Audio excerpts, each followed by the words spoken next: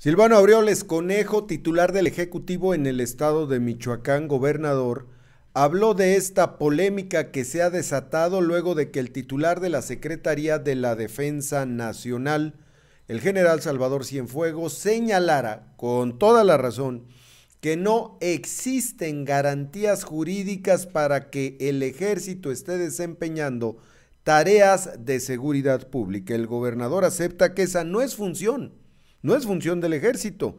La seguridad pública es función de la autoridad civil.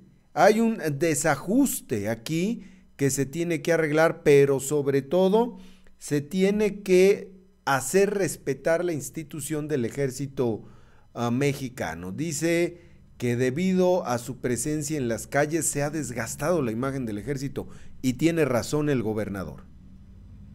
Eso es una realidad y eso lo sabíamos desde hace 10 años que se tomó la decisión de llevar a los, eh, a los militares, a los marinos, a meterlos a una tarea de seguridad pública y, que no es su formación. Los soldados son formados para la defensa de la soberanía, defensa del país, otras tareas que se llaman defensa exterior y defensa interior, que tienen que ver con la seguridad nacional, no tareas de seguridad pública, que esas le competen a la autoridad civil.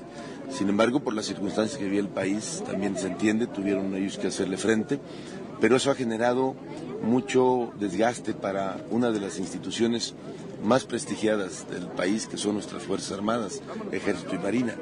Eh, y yo creo que nuestro reto, nuestra meta, debe ser que los gobiernos civiles nos hagamos cargo de la seguridad pública y que pronto o se regresan los soldados a los cuarteles o se reforma la ley para darles las facultades en materia de seguridad pública. Si no, exponemos demasiado a nuestros soldados.